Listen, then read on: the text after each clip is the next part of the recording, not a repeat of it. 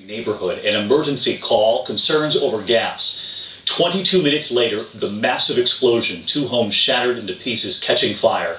And if you look to the upper right, right here, one of those homes in the neighborhood with a surveillance camera capturing the explosion. Well, tonight, those 22 minutes were life saving. ABC's Eva Pilgrim is on the scene.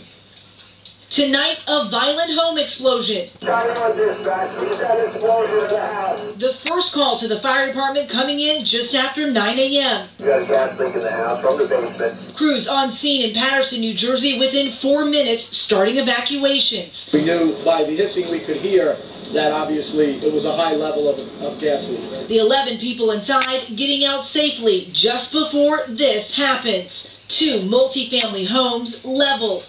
Debris littering cars, yards, and even rooftops of neighboring homes. And as you see, this is a piece of the house. I was over there. this thing went over my head. But unlike this 2015 New Jersey house explosion that left two utility workers critically injured, remarkably, there are no serious injuries tonight from this massive mess. If it just happened 15 or 20 minutes before they got everybody out, I don't know what would happen.